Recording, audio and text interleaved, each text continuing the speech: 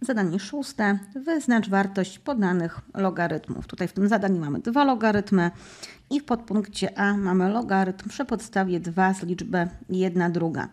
Tutaj dobrze jest ten logarytm e, przekształcić do postaci takiej, żeby w podstawie logarytmu i w liczbie logarytmowanej, żeby stały te same liczby. I w tym celu przekształcimy sobie liczbę jedną drugą.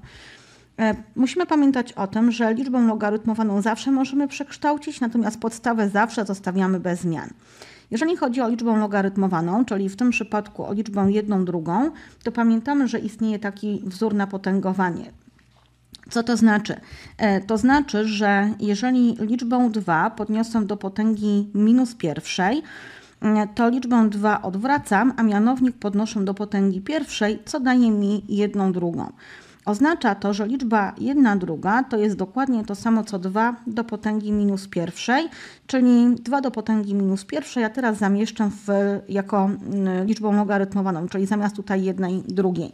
Oznacza to, że uzyskuję w tym momencie logarytm przy podstawie 2 z liczby 2 do potęgi minus pierwszej, no i mam co chciałam, czyli mam w podstawie logarytmu i w liczbie logarytmowanej te same, te same wartości liczbowe, e, czyli w tego typu przypadku cały logarytm jest równy właśnie liczbie logarytmowanej, czyli w tym przypadku liczbie minus 1.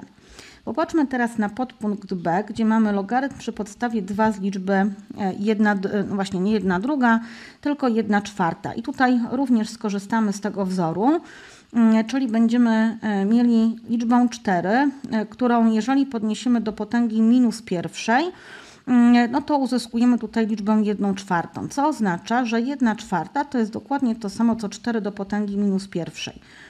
E, w związku z powyższym tu uzyskuję e, logarytm przy podstawie 2 z liczby 4 do potęgi minus 1, natomiast no, nie mam w podstawie i w liczbie logarytmowanej jeszcze tych samych wartości liczbowych. Natomiast mogę zauważyć, że liczba 4 to jest dokładnie to samo co 2 do potęgi drugiej. Dlatego tutaj po znaku równości zapisuję, że mam logarytm przy podstawie 2 z liczby 2 do potęgi drugiej i jeszcze do potęgi minus pierwszej. I tutaj pamiętajmy o tym, że mamy podwójne potęgowanie.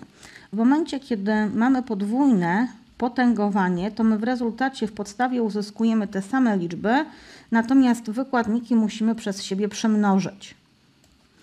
Stąd tutaj po znaku równości, ja tutaj to może oddzielę, żeby nie wprowadzało to nikogo w błąd. E, w związku z powyższym po znaku równości mogą tutaj zapisać, że uzyskują logarytm przy podstawie 2 z liczby 2 do potęgi 2 razy minus 1, e, co daje nam logarytm przy podstawie 2 z liczby 2 e, do potęgi minus drugiej. No i te przekształcenia dały nam taką sytuację, że w podstawie logarytmu i w liczbie logarytmowanej mam takie same liczby, czyli cały ten logarytm jest równy wykładnikowi tej potęgi, czyli liczbie minus 2. Ja oczywiście w obu tych przypadkach mogę jeszcze e, tutaj dokonać innych zmian, czy innych, innych obliczeń. E, tutaj popatrzmy na tę postać logarytmu, czyli będziemy mieli logarytm przy podstawie 2 z liczby 2 do potęgi minus pierwszej. Jeżeli zastosujemy sobie ten wzór, to na jego podstawie możemy zapisać, że mamy minus 1 e, logarytm przy podstawie 2 z liczby 2. Ja tutaj zapisałam wcześniej znak mnożenia, bo jak najbardziej ja mogę zapisać to jako minus 1 razy logarytm przy podstawie 2 z liczby 2. I w sytuacji takiej, kiedy podstawa logarytmu i liczba logarytmu one są takie same i nie mamy tutaj żadnego wykładnika, to cały ten logarytm jest równy liczbie 1, stąd tutaj uzyskujemy minus 1 razy 1, czyli minus 1. Może ja tutaj to zapiszę czytelniej. Czyli dokładnie to samo, co mamy tutaj wyżej.